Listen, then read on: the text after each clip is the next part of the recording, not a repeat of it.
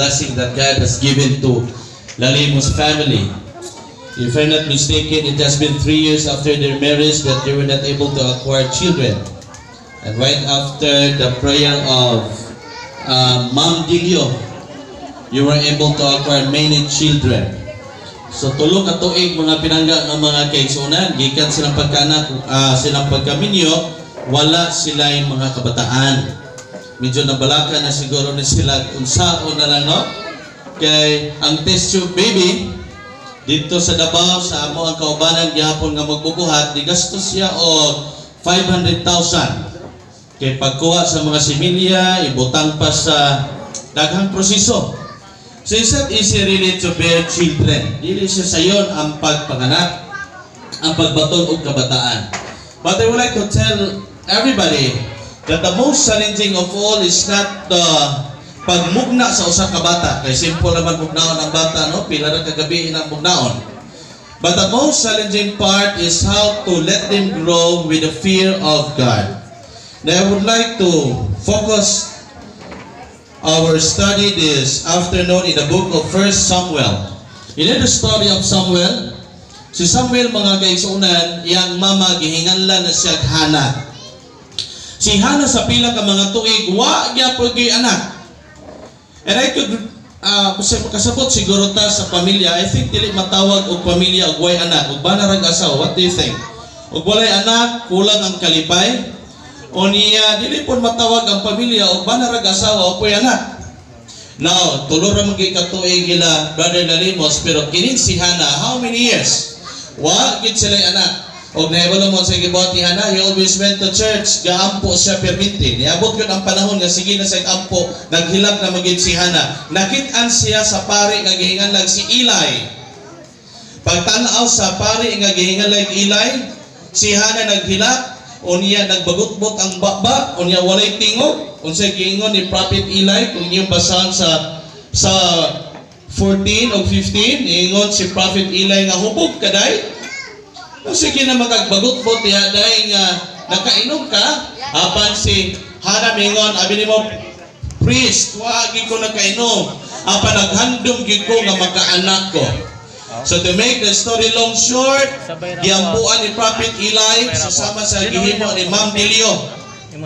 Nagampo siya ni ini nga pamilya kay wa pa po gyud sila anak god dugay nga panahon pero paghatag sa Ginoo panalangin girapit pod paghatag. Og tulo ka tuig, apila mo ka tuig siguro at tulo ka tuig no? Ikan sa kaminyoon, pero karon magtulo na pod yung anak. Magkalilisan po ng tubag sa Ginoo. Gipahuwat-huwas makadjot pero paghatag pod package no? Murag package din. Sa kay ka pagbati anak sunod-sunod gyud nga anak.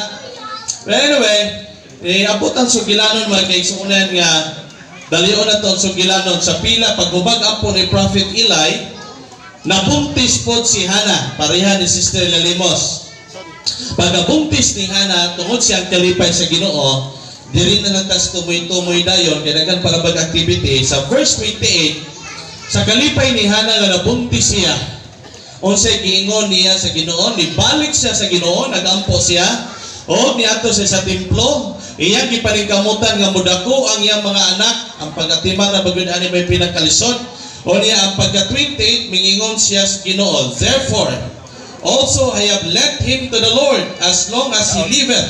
He shall be led to the Lord and he worship the Lord there. O siya ang gingon sa Ginoo Ginoo ikaw may naghatag aning bata therefore karon ako ning ihatag ang akong anak sa imo. Kutob sa napay kinabuhi akong anak ako kini siyang ihalad. Sa imo munang si Samuel nahimo siya pastor nahimo siya og ah, prophet si Samuel magkaigsunan o si Samuel nahimo og buotan kay gataw na I would like to stress certain points sa pagatiman sa tong mga kabataan mga kaigsunan dili siya sayon Dagan sa mga bata karon gyud magkalisang pamalandungon. At the age of 3 years old kusog na pamalikas. At the age of 4 years old kusog na malikas. Tungod kay kasagaran mga ginikanan og bisita dili mi exempted na rin sa kong asawa. Og bisita aron atong anak magpuyo unsa tong himuon? Wow, ato patanawon og salida. Mo nang akong experience sa akong pagkabata anong nakatisting kog inom og sigarilyo. Kay busy na gani among katabang, patanaw ni kog salida. Sige man kog kakita ni Ruben Padilla. Katabi taw mga salida nga anak ni Bibi Ama. Ah, katong mga salida nga sa patong mga Rubin-Rubin nga manigarilyo bita si Robin, lami magitanaw na yung sigarilyo nga paggawas maglingin-lingin. Pagkalami, yung kay tanaw. O yan, magkakita po ko sa salida ka na bitaw halok-halok. Malipay among katabang ningon, wow, pagkanindot. Nagpuyo ra ang ako ang gibantayan. Ano po na ko mama, simple na ba papuyo ni ato mga bata? Diba yung taga-gadget? Karon mo puyo?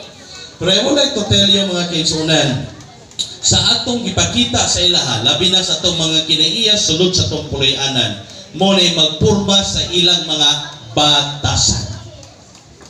Kisa man atong pasangilan kung atong anak mamalikas, alang-alang atong silingan atong kasaban. Nga ang una gid ana pagkabuntis sa inimo, ang una ana nga magtutudlo ang mama. The first teacher is no other than the mother. Ang una nga eskwelahan mao ang panimalay. So ang nagmold sa karakter sa usa ka bata mga pinangga nga magigsunan, walay lain ang mga ginikanan. So I hope na atong pagpadako sa atong mga anak, dili lang sila mahimo